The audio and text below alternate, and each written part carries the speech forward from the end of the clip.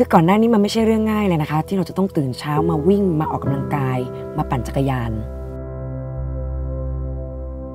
ไม่เคยคิดมาก่อนค่ะว่าเราจะทำได้ ด้วยความที่เมื่อก่อนเนี่ยเป็นคนที่ค่อนข้างเหนื่อยง่าย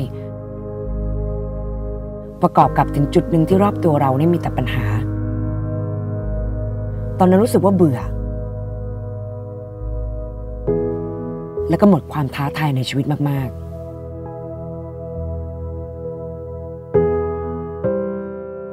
บ่อยครั้งที่ใครก็ไม่รู้มาตัดสินเรา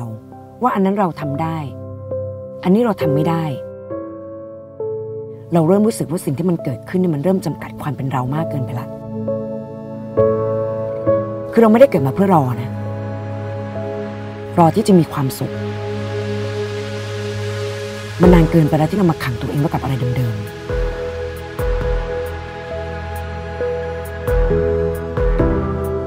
โยเริ่มเปิดโลกใบใหม่ด้วยการวิ่งและปั่นค่ะ ทุกๆ กิโลเมตรที่เราวิ่งผ่าน ทุกๆ รายการที่เราได้ไปปั่น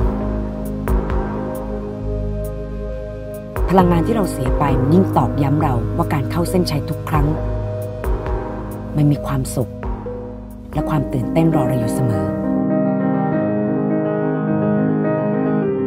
เราทุกคนต่างมีจุดสตาร์ของตัวเองค่ะ